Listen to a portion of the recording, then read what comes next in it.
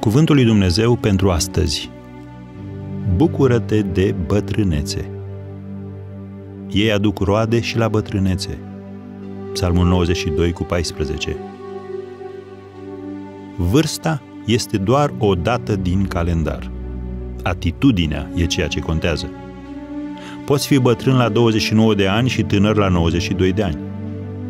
Larry King i-a luat odată un interviu lui Ty Cobb, unul dintre cei mai mari jucători de baseball din toate timpurile. El l-a întrebat pe Cobb, care avea atunci 70 de ani. Ce performanțe crezi că ai atinge dacă ai juca în prezent?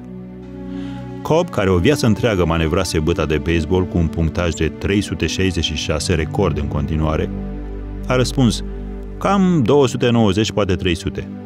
King a întrebat, asta din cauza călătoriilor, a jocurilor nocturnă, a gazonului artificial, a tipurilor noi de mingi? Cobb a răspuns, nu, din cauza că am 70 de ani. Iată trei beneficii ale faptului că ai trăit mai mult. 1. Ești mai tolerant. Prin faptul că tu însuți ai căzut în numeroase capcane ale vieții, întinzi mai repede o mână de ajutor când și alții cad la fel. Faptul că ai supraviețuit înfrângerilor și ai trăit pentru a mai da piept cu ziua de mâine, te califică să oferi tărie și speranță celor care se zbat. Un alt avantaj. Ești mai smerit. Un bărbat care tocmai aniversase 50 de ani de căsnicie a spus Omul e pe cât de tânăr se simte, dar rare ori pe atât de important.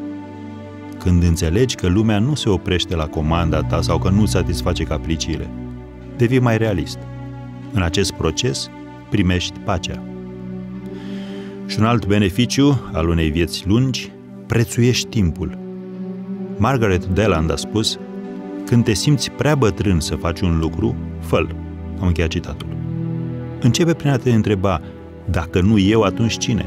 Dacă nu acum, atunci când? Iată o promisiune din Scriptură pe care te poți baza.